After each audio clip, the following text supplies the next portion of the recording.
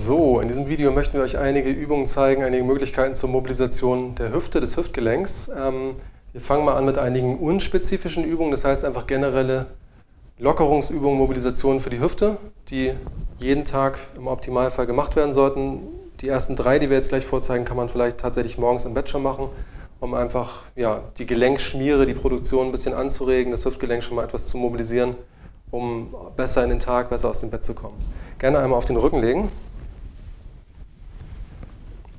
Und hier findet sich jetzt wieder die Beckenkippung wieder, die wir auch schon in einigen Videos zur Lendenwirbelsäule gesehen haben. Einmal die Beine bitte anstellen, dieser. Und die Knie, die Füße hüftbreit auseinander und jetzt das Becken vor und zurückkippen. Das Schöne an diesen Übungen ist, dass man teilweise zwei Fliegen mit einer Klappe schlägt. Das heißt, man hat sowohl die Lendenwirbelsäule als auch die Hüftgelenke mit abgedeckt. Genau, schön das Becken vor und zurück. Das heißt, die Vorstellung, hier einen Tunnel machen, und diesen Tunnel wieder schließen. Also einmal Hohlkreuz und einmal dem Hohlkreuz entgegenwirken. Das Ganze macht man dann 15, 20 Mal, ein, zwei Minuten, einfach so ein bisschen nach Gefühl. Und dann gehen wir direkt über in die nächste Übung und zwar ist es einmal mit ausgestreckten Beinen. Fußspitzen einmal hochziehen und das gestreckte Bein aus der Hüfte heraus nach unten rausschieben. Ein, zwei Zentimeter lockere, fließende kleine Bewegung. Je besser die Unterlage rutscht, desto besser. Also ein Bettlaken beispielsweise wäre optimal. Morgens im Bett. Wenn man das jetzt hier mit Schuhen machen würde, wäre das wiederum nicht gut, weil man dann einfach mit der Sohle hängen bleibt bzw. Widerstand hat. Also es geht darum, locker, mobilisierend, ohne Widerstand, ohne Kraftanstrengung, ungefähr ein, zwei Minuten auch diese Übung zu machen. Die Übung Nummer drei wäre auch in Rückenlage mit ausgestreckten Beinen, vielleicht ein kleines bisschen auseinander. Und jetzt Winkebewegung mit den Füßen, das heißt die Hüften nach innen und nach außen rotieren. Genau, nach außen, auseinander drehen die Füße und nach innen zusammen. Und das Ganze versuchen jetzt auch mal so ganz locker, fließend, relativ zügig nach innen und außen. Auch hier wieder ohne große Anstrengung, einfach lockere, fließende Bewegung. Sehr schön. Und diese, allein diese drei Übungen, wenn man die morgens im Bett macht, ist das schon mal für die Hüfte, für die Hüftgelenke viel wert. Gut, dann bitte einmal hochkommen in den Stand. Dann machen wir jetzt noch eine weitere unspezifische Mobilisationsübung. Und zwar stellst du dich einfach mal so hüftbreit ungefähr hin und kippst jetzt mal dein Becken erstmal vor und zurück.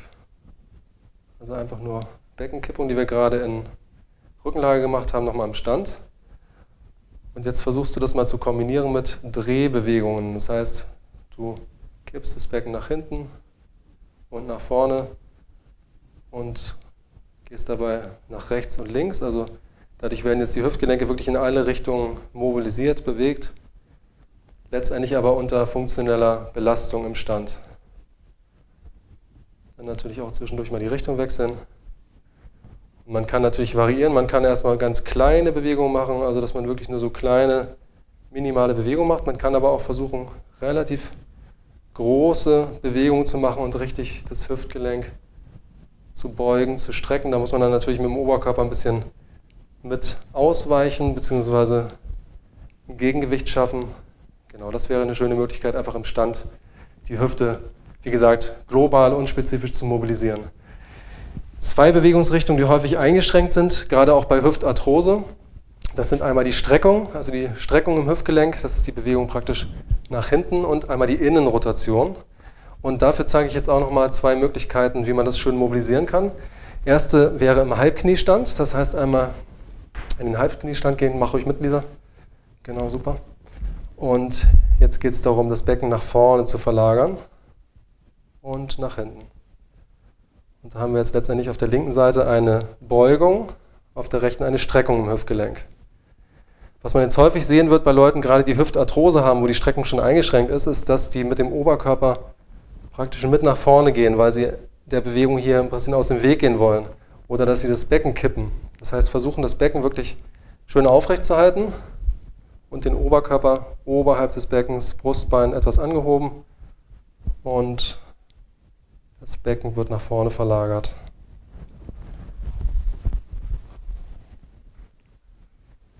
Genau, und richtig schön vom Becken her ein bisschen in dieser Position, also Schambein und Bauchnabel einander annähern und jetzt nach vorne verlagern, Oberkörper gerade. Bisschen noch den Oberkörper nach hinten verlagern, also ganz gerade bleiben.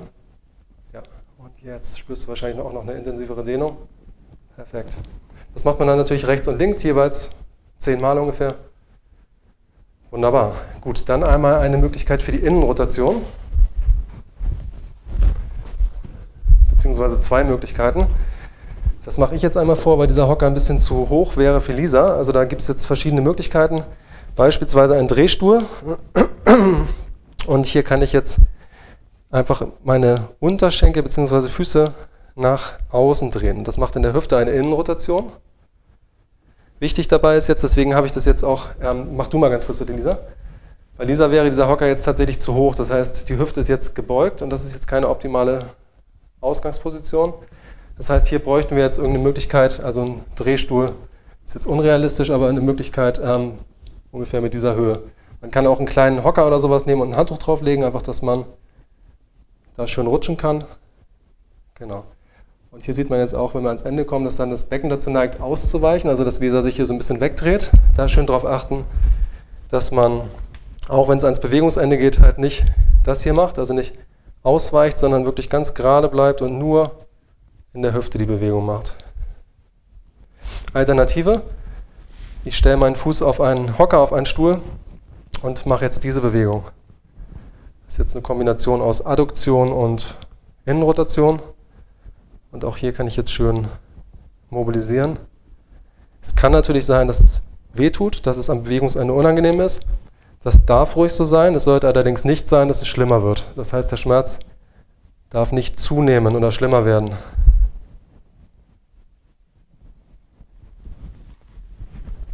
So, dann zeigen wir noch eine Übung, sogenannte Pendeln. Und zwar kannst du dich gerne einmal hier raufstellen.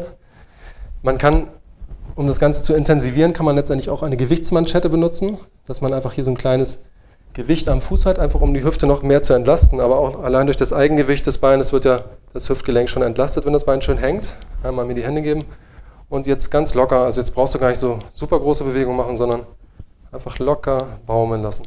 Also einfach pendeln lassen, ohne große Kraftanstrengung.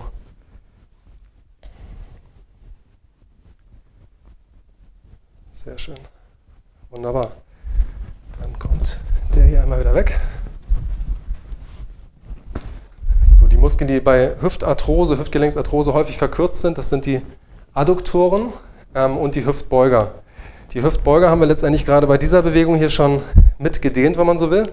Man kann aber natürlich auch bei der Bewegung, also beziehungsweise nach der Mobilisation, wir hatten ja gesagt ungefähr zehnmal vor und zurück, man kann am Bewegungsende bzw. am Ende der Übung gerne auch nochmal in der Dehnung drin bleiben, dass man wirklich einfach ganz bewusst das Becken nochmal ein bisschen kippt, nach vorne geht, bis man hier ein schönes Ziehen spürt und dann 20, 30 Sekunden wirklich nochmal in dieser Dehnung drin bleiben. Für die Adduktoren gibt es verschiedene Möglichkeiten. Einmal ganz kurz auf dem Rücken nochmal bitte. Um die Adduktoren zu dehnen, die Füße einmal zusammenstellen und die Knie langsam auseinanderfallen lassen. Genau, Fersen aneinander, und jetzt kannst du die Hände nochmal auf die Oberschenkel legen und so ein kleines bisschen nach unten drücken. Und dann macht sich hier ein Dehnungsgefühl im Oberschenkel, also an der Oberschenkelinnenseite bemerkbar. Auch in dieser Position ganz entspannt. 30 Sekunden oder länger drin bleiben, schön weiteratmen und versuchen ganz bewusst auch auf die gedehnten Muskeln zu konzentrieren und dort eine Entspannung herbeizuführen. Sehr schön. Dann eine Alternative im Stand. Und zwar wäre das sozusagen in, einer, in einem Ausfallschritt. Das heißt, wir stellen das eine Bein nach außen und verlagern uns jetzt tendenziell auf unser linkes Bein, sodass wir hier eine Dehnung spüren. Genau. Aber darauf achten, dass der Rücken schön gerade bleibt. Perfekt, sieht gut aus.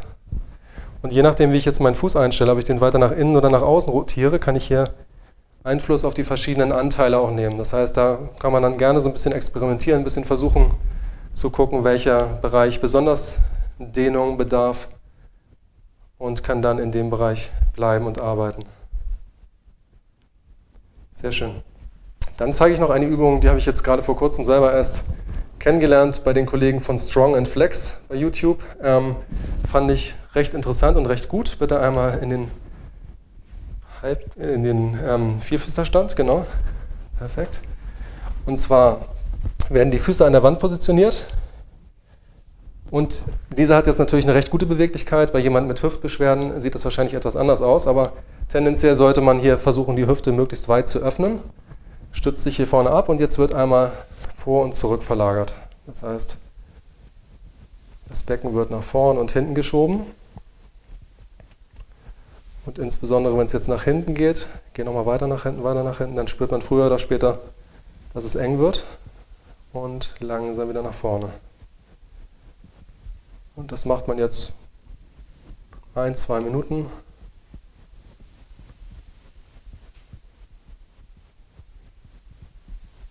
Schritt 2 wäre jetzt Beckenkippung. Geh mal in so eine mittlere Position. Und jetzt kippst du das Becken mal schön vor und zurück. Die haben wir auch mehrfach schon kennengelernt, die Beckenkippung. Richtig schön rund machen den Rücken und wieder nach vorne. Auch hier haben wir jetzt eine schöne Mobilisation der Hüftgelenke in dieser Abduktionsstellung. Was man zwischendurch jetzt einmal machen kann, einmal ganz kurz Pause, ich verkürze es jetzt mal ein bisschen, dass du einmal die Adduktoren, also die Innenseite der Oberschenkel aktivierst, indem du einmal dir vorstellst, du willst die Knie zueinander drücken. Das heißt, richtig isometrisch jetzt mal so 10, 20 Sekunden kräftig zusammendrücken, die Adduktoren. Also Vorstellung, Knie zueinander führen, praktisch hier in den Boden reindrücken. Innenseite wird aktiviert. Und dann einmal wieder lösen die Spannung. Und jetzt nochmal weitermachen mit den Übungen. Vor, zurück. Perfekt. Hintergrund ist, wenn wir den Muskel einmal, diese verkürzten Muskeln einmal arbeiten lassen, also einmal kräftig anspannen lassen, nach der Anspannung kann sich dieser Muskel noch besser entspannen und dementsprechend haben wir jetzt die Möglichkeit, sozusagen im zweiten Durchgang da noch ein bisschen weiter reinzukommen, die Beweglichkeit noch effektiver zu verbessern. So, das waren die Übungen zur Mobilisation des Hüftgelenkes. Ergänzend könnte man auch sagen, dass man auch hier mit der Faszienrolle ähm, schön ergänzend arbeiten kann. Da habe ich ein separates Video, habe ich auch unten mit eingeblendet, ähm, Text in den Kommentaren. Ähm, ja, da wären insbesondere die Übungen für die Adduktoren und auch hier für den Traktus, aber letztendlich auch für alles drumherum, also die Oberschenkelvorderseite, Rückseite, Gesäßbereich. Also das ist alles unterstützend sinnvoll, wenn man dort, dort auch die Faszien noch mit, dem, ja, mit der Faszienrolle bearbeitet. Ich wünsche euch viel Erfolg und bis zum nächsten Mal.